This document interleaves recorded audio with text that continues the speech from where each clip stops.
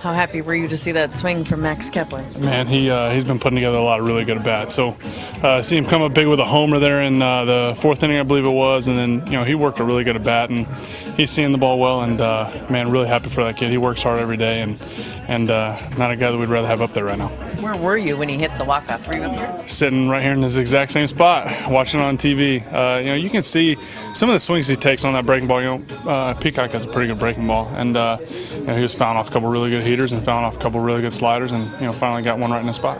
What was your reaction? Everybody in here uh, stood up and yelled and went and gave gave high fives. Uh, that's a big series to win.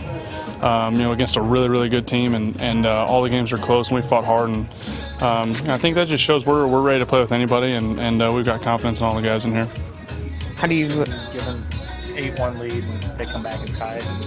Yeah, absolutely. Uh, you know, we know that they're not going to give up. Uh, you know, they're a team that you know builds and, and prides themselves on, on grit and playing through nine innings, and, and we're going to do the same thing. So, um, yeah, to to give up the lead there and, and uh, let them back in the game, but then to fight and, and get the win, you know, that's I think that makes the series win even more important.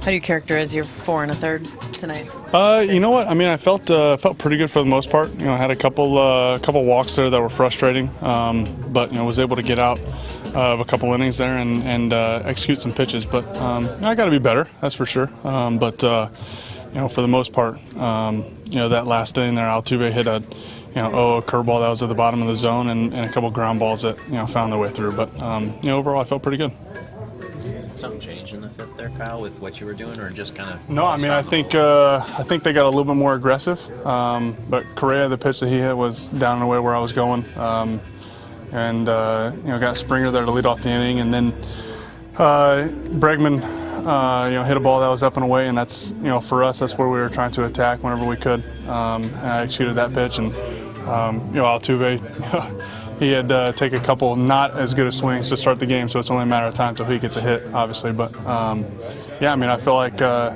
you know, I really didn't get myself in, into too much trouble. They just put some balls in, in play where our defense wasn't, and uh, that's how it goes sometimes. Yeah, they looked a little heated in the dugout then when you did get taken out. Is that just frustration in the moment? Uh, frustration in the moment. I mean, uh, yeah, you, you never want to give up, you know, uh, five runs, whatever it was there in that inning, um, and let the team back in the game. So uh, frustration that you know you can't take some of the uh, you know brunt off the bullpen there, and you make them work four innings. But um, that's baseball. They're a pretty good team over there.